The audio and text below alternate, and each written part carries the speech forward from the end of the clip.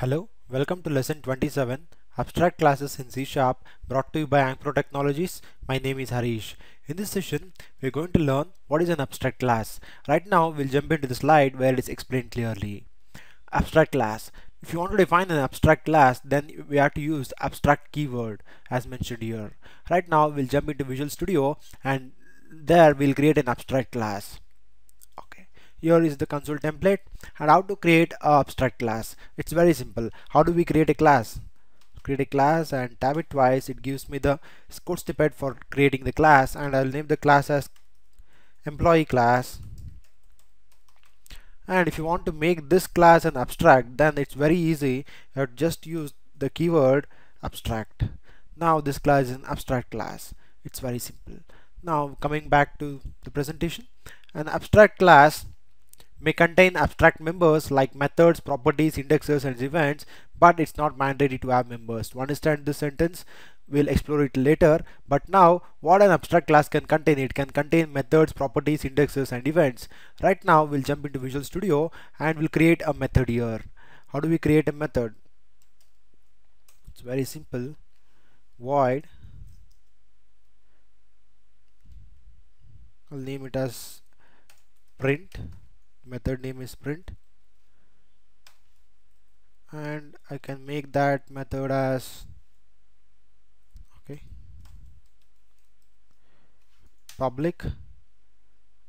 And if you want to make this method the abstract class can have abstract members. So I have to use abstract keyword to make that method as abstract.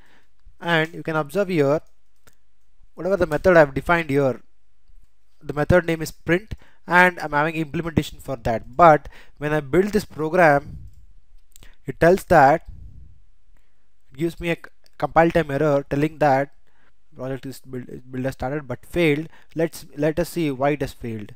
Employee print cannot declare a body because it is marked as abstract. It means that and abstract class having an abstract members cannot provide implementation it, itself there. Okay it's only the declaration. And abstract members for a for example employee class is an abstract class and the members present in it can have only the declaration and it should be not having the implementation and it should not it will not support also. The abstract class does not support implement members implementation. So what I've done is I've just declared a method and who is going to implement this method? Any other class who is inheriting that abstract class employee should implement the print method. How do I do that? It's very simple. If you want to implement the print method which is coming from the abstract class employee you have to use public override keyword void respectively the print method name sorry respectively the method name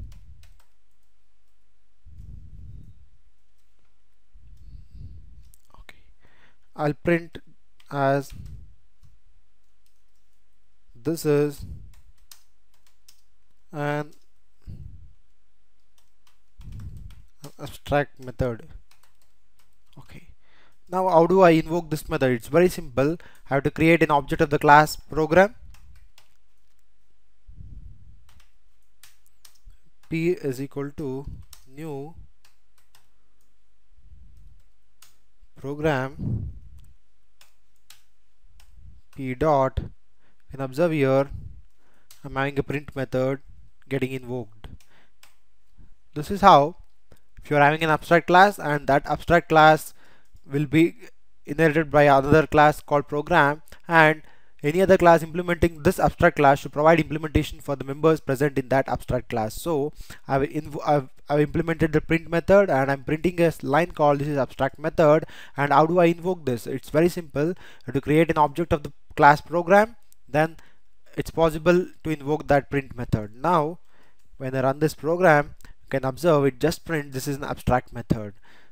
Just wait for a while my file is being scanned. Once it is done you can observe this is an abstract method. This is how you will invoke a method and will provide implementation for the abstract class abstract class members. And we'll jump back into the slide here you can observe if a class inheriting abstract class then there are two options available for that class. One it should provide implementation for all the abstract members inherited from the base abstract class. This is what what we did here. We just provided the implementation because this class program has implemented this employee abstract class. So I just provided the implementation here. And the other thing is if the class does not wish to provide implementation for all the abstract members inherited from the abstract class, then the class has to be marked as abstract. It means that immediately when I remove this, you can observe it throws me a red squiggly telling that program does not implement inherited abstract member and if you explicitly want don't want to implement this method print method which is coming from the abstract class employee then it's very simple. You just use abstract keyword before that.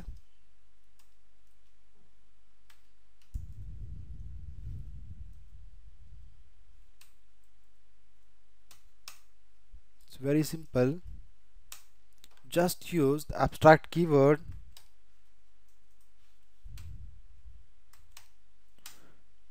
then you can observe the red squiggly event. It's because what I'm trying to tell you here is if you're having a method which is in the abstract class and if you're inheriting this class to the program class program and if you don't want to implement this method then mark the class as abstract then it will not provide you any errors. Now when I build this program you can observe here it builds successfully. This is what I'm trying to tell you here. This is what the meaning of the sentence. If you want to provide implementation then go and implement that method in the class where you're calling and if you don't want to provide implementation just then just make that class as abstract as what I did here just place the keyword abstract then it does not cause you any problem okay coming back to the presentation here you can observe the abstract class cannot be instantiated because it is incomplete. It means that abstract class does not provide implementation, it just provides the declaration. Then you can understand there is no use of creating an object of the abstract class. That's what the meaning of this sentence. Abstract class can only be used as base class S. It means that abstract class can be inherited by other classes and whatever the class inherits that employee class, abstract employee class should provide implementation for that. That is the meaning of this sentence. And abstract class cannot be sealed. It means that I'm having a class called employee and I'll make sealed. If I make this class sealed, employee is telling an abstract class cannot be sealed or static. It means that there is a conflict between abstract and sealed. So when you're using abstract, you should not use sealed and when the sealed is existed, you should not use abstract. Sealed is used in the inheritance we saw sealed is used if you don't want particular class to be inherited from other class then make that class as sealed. Then it is not possible to inherit that class to the calling class. That's what the meaning of this sentence abstract class cannot be sealed. Okay. An abstract class may contain abstract members like methods properties and events but it's not mandatory to have members. It means that i made uh, my method as abstract. It means it's not compulsory that you have to make this method as abstract. It does not provide you any okay. I'll just remove this keyword. You can observe it's not that you're uh, it's not compulsory that you have to provide implementation for this method. Now what I'll do I'll just run this I'll just build this. Okay. Now what I've done I just removed the abstract method. Then if you're not making the abstract class member as abstract then you have to provide the implementation there itself. So you can observe this method is not abstract method okay it means that it's not compulsory. Whatever the members present in the abstract class should be abstract. It can be a non-abstract method also. Now when I go and build this project it's built successfully. That's what the meaning of this sentence. An abstract class may contain abstract members like methods properties indexers and events but it but it's not mandatory to have members. It's up to you whether you make this class this method is an abstract method or a non-abstract method. That's all. Coming back presentation. A non-abstract class derived from an abstract class must provide implementation for all the inherited abstract me abstract members. This we saw previously. It means that over the class implementing this abstract class employee should provide the implementation in the respective in, in the respective class where you're calling. That's what the meaning of this sentence. Okay. Thank you for listening. Have a great day. Please subscribe to Pro training